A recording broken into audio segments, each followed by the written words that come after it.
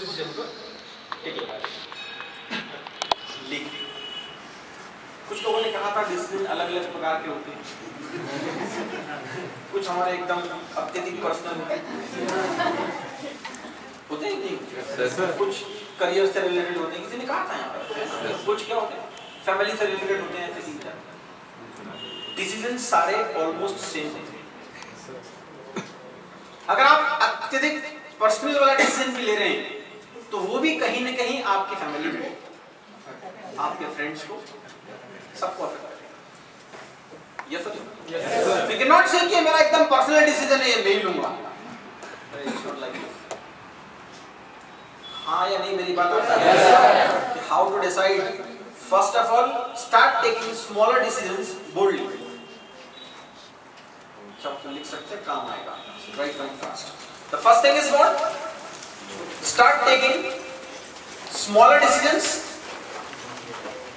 boldly. Right from today. Okay?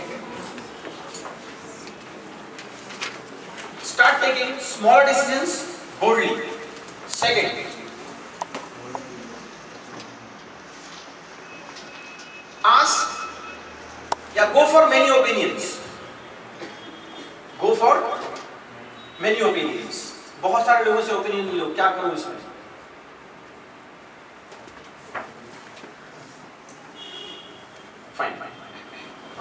हमने दो चीज़ की। अभी हमने सबसे पहले सीखा छोटे छोटे डिसीज़न लेना शुरू करते हैं। थोड़ा एक्सपीरियंस लेने का डिसीज़न लेने का। सेकंड जब भी डिसीज़न लेना हो, बहुत सारे लोगों से ओपिनियन ले लो।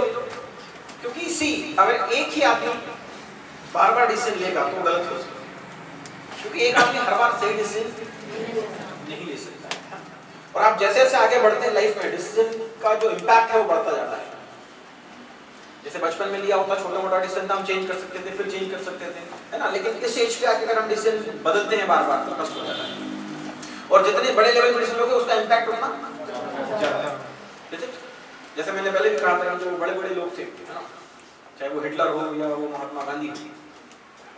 इनका जो फेलियर हमें दिखता है, उसमें सबसे बड़ा जो प्रॉब्लम था, वो उनका डिसीज़न मेकिंग हिटलर इतना खतरनाक व्यक्ति था।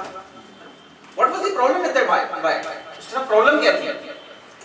वो सिर्फ़ ये सोचता था कि जो मैं सोच रहा हूँ, वही सही। ठीक है, उसने शुरू में डिस्टेंस लिए, सही हो गए, फिर लिए, फिर सही हो गए, फिर लिए, फिर सही हो गए। लेकिन वो जैसे जैसे ऊपर बढ़ता गया, उसके डिसीज़न का इंपैक्ट बढ़ता गया। किसी कंपनी में अगर एक प्यून डिसीज़न ले ले मतलब छोटी गलती, बड़ी भी गलती कर देगा तो छोटा इंपैक्ट आएगा। लेकिन अगर टॉप लेवल मैनेजर छोटी भी गलती करेगा was happened with you know इधर विद गांधी गांधी ने क्या किया? गांधी को लगा जो मैं सोच रहा हूँ वही सही है।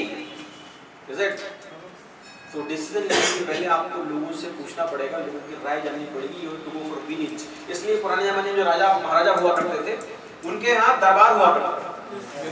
वहाँ एक्सपर्ट्स बैठे होते और जिस भी राजा ने बेवकूफ़ी की कि बस मैं जो बोल रहा हूँ वही सही है वो सारे लोग बिलीव मी उनका सारा सब ध्वस्त हो गया। और जिसने सबसे पूछ पूछ के काम किया। And the topper what ये आपने देखा इसलिए आपको मालूम नहीं मालूम। के दरबार में क्या हुआ करता था? एक्सपर्ट्स हुआ करते थे। आप भी अपने पास किंग तो आप हो किंग तो आप ना। के सामने खड़े जाओ तो उसके बाद तो फिर अपने से एविडेंस नॉट सो किंग तो आप हो। तो दरबार फिजिकली तो नहीं बना सकते।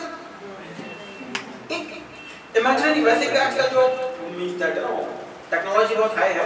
आप व्हाट्सएप हो या फेसबुक हो या वहाँ से बहुत सारे लोगों से कनेक्ट रह सकते हो। कुछ मत करो।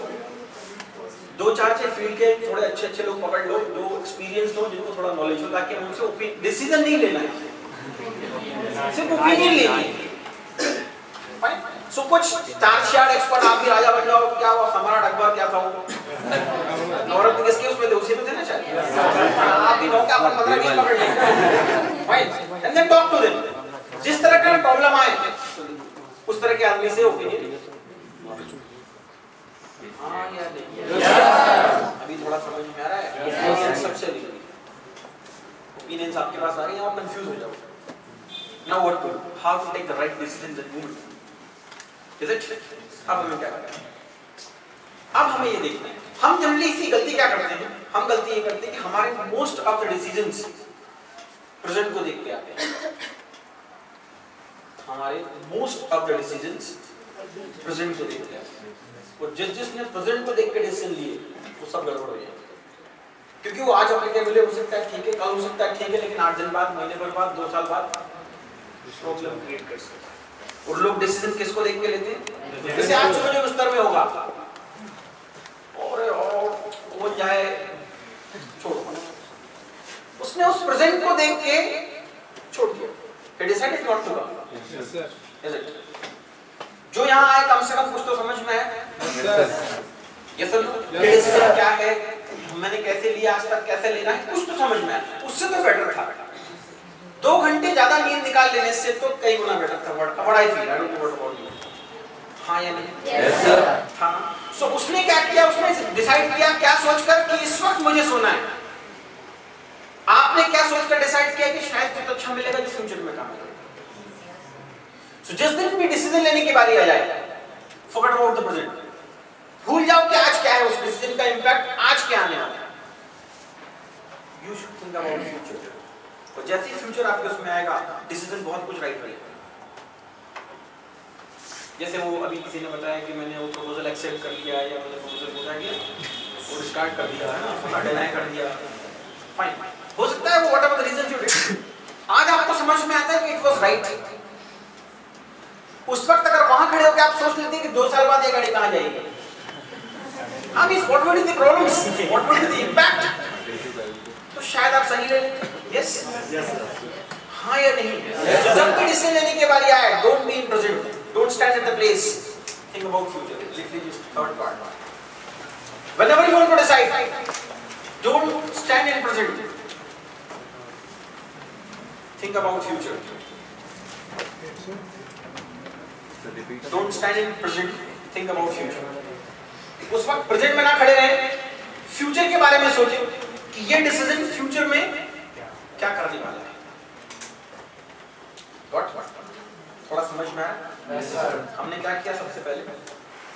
मैच निकल रहा निकल जाएँगे पंद्रह ओवर यहाँ जीवन निकल सकता सी थिंग इज़ व्हाट सबसे पहले हमने देखा था कि छोटे छोटे डिसीज़न लेना शुरू करना है वो आज से लेना शुरू करना सेकंड लोगों से ओपिनियंस लेंगे ओपिनियंस आ जाने के बाद जब आपके पास तीन चार पाँच अल्टरनेटिव्स आ गए तब क्या सोचना?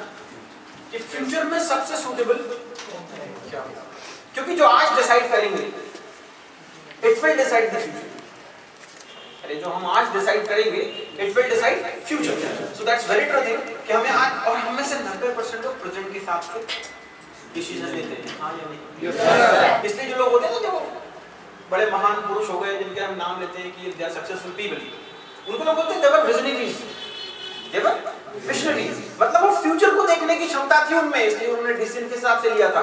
फ्यूचर के हिसाब से इसलिए वो महापुरुष दैट्स व्हाई दे सक्सेसफुल हमें अधिकतर लोग प्रेजेंट को देख के डिसीज़न लेते हैं, इसलिए वो गलत है आज मुझे अच्छा लग रहा है। या आज मैं देर तक सो लूँगा तो मेरा जीवन सफल हो जाएगा दैट काइंड ऑफ़ विल ठीक, अभी यहाँ तक गाड़ी में तो समझ में भी सॉलिड चल रहा है ये बिल्कुल प्रैक्टिकल हमारे अपने लेवल की बात कर रहा हूँ वर्ल्ड लेवल की बात मुझे नहीं आती क्या बोलती हूँ हमें तो अपने लेवल पे डिसाइड डिसीज़न लेने हैं सी नेक्स्ट फ्यूचर भी आपने सोच लिया।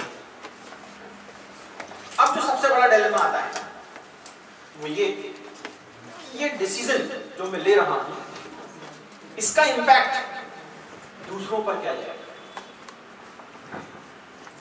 Now you to think about ये जो डिसीज़न मैं लेने जा रहा हूँ, इसका इंपैक्ट दूसरों पर क्या जाएगा? क्योंकि आप अकेले नहीं हैं। You not living in that forest आप एनिमल ज़रूर है सोशल आप सोशल एनिमल है ना? पर हम फॉरेस्ट में थोड़ी हैं। वे लिविंग इन सोसाइटी आपसे जुड़े बहुत सारे लोग हैं। और आपके डिसीजंस उनको भी अफेक्ट करते हैं। अरे हाँ या नहीं?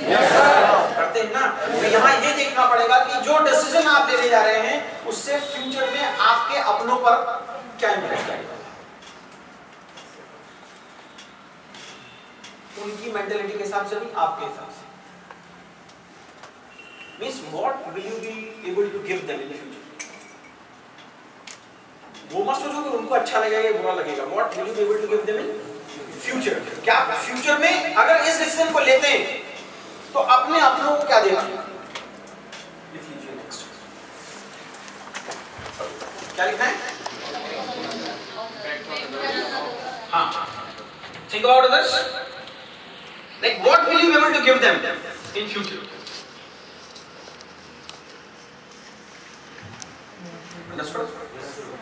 कि मेरे इस डिसीज़न से जो मेरे जुड़े हुए लोग हैं, उनको मैं क्या दे रहा हूँ? क्योंकि जनरली जनरली लोग क्या करते हैं? पर्सनल लेवल पे डिसीज़न लेते हैं। कि मुझे अच्छा मिल जाएगा, है ना? मेरा अच्छा हो जाएगा। वो डिसीज़न रॉन्ग होने के ज़्यादा चांसेस उस डिसीज़न के रॉन्ग होने के ज़्यादा चांसेस हैं कब जब आप ये सोच के फ्यूचर का डिसीज़न ले रहे हो कि इससे बस मेरा ही फ़ायदा होने वाला है। अगर हम उस फ़ायदे को सबको जोड़ के देखेंगे, ये मत देखो कि वो क्या सोच रहे हैं। क्योंकि लोगों का अपना मेंटल स्टेटस है, लोगों की अपनी पर्सनालिटी है, लोगों के साथ अपने अपने प्रॉब्लम्स हैं। किसी का विल पावर अच्छा है तो किसी का नेचुरल अच्छा है। किसी का कुछ और अच्छा है तो किसी का कुछ और अच्छा है। वो उस हिसाब से डिसीज़न लेते हैं। कोई समाज के दबाव में ले रहा है जैसे पेरेंट्स किसी ने मना कर दिया कि इंदौर मत जाना। है ना? किसी ने कुछ और बोल दिया तो पेरेंट्स के अपने डिसीज़न के लेवल है। But you have to think कि अगर मैं फ्यूचर के लिए डिसीज़न ले रहा हूँ तो इसका इंपैक्ट मेरे जो जुड़े लोग हैं उनके ऊपर मैं आपको समझा पा रहा हूँ मेरा तो जॉब पूरा हो जाऊँगा मैं सुकून से आके सोच के भाई मैंने अपना काम पूरा किया। आपकी आप आप यहाँ सो रहे हो लग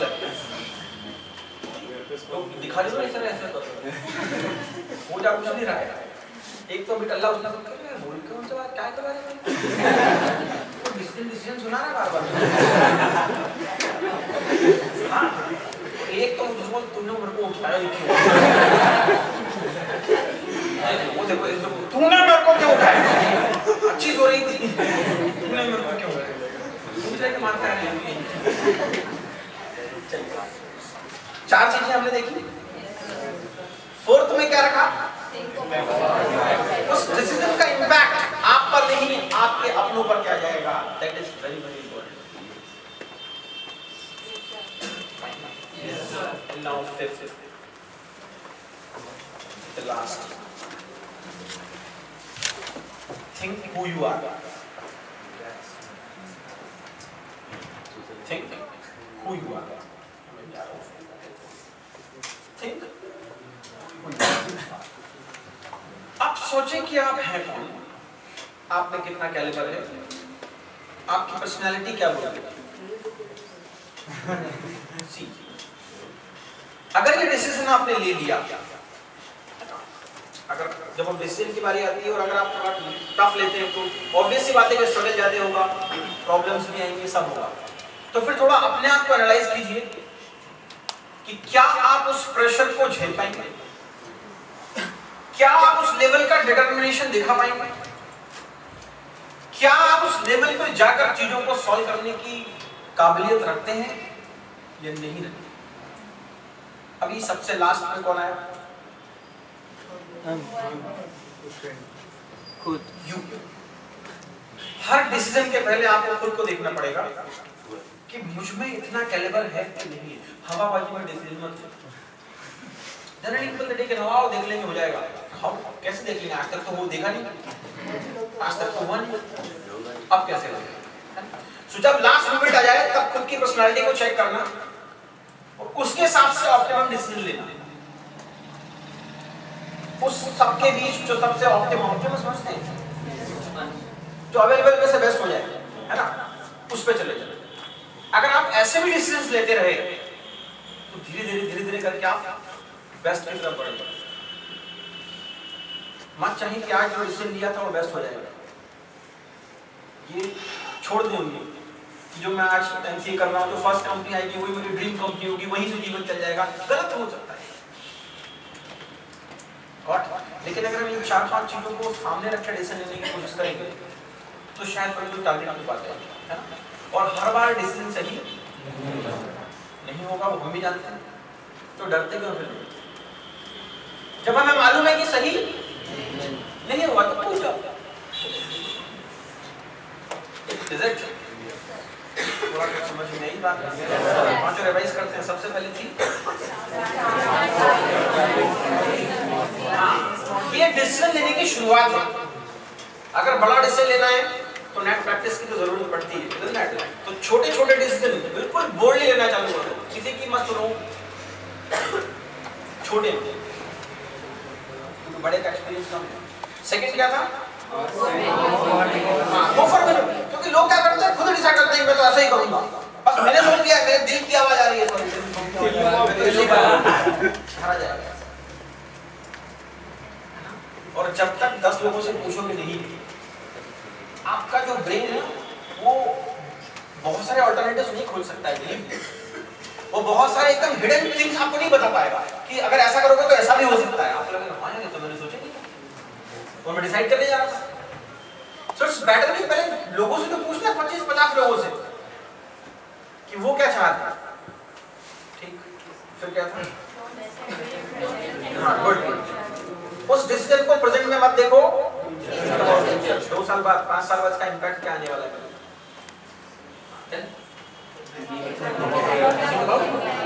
गुड जब फ्यूचर में डिसीज़न का इम्पैक्ट आना शुरू होगा तो उसका इम्पैक्ट देखिए अभी किसी ने कहा था कि रिस्पॉन्सिबिलिटी तो आपकी डिसीज़न आप लोग तो आपको तो झेलना ही पड़ेगा। अगर डिसीज़न आपने लिया है तो आपको तो झेलना ही पड़ेगा, पर आप तो झेल जाओगे, क्योंकि लिया आपने। पर क्या आपके आसपास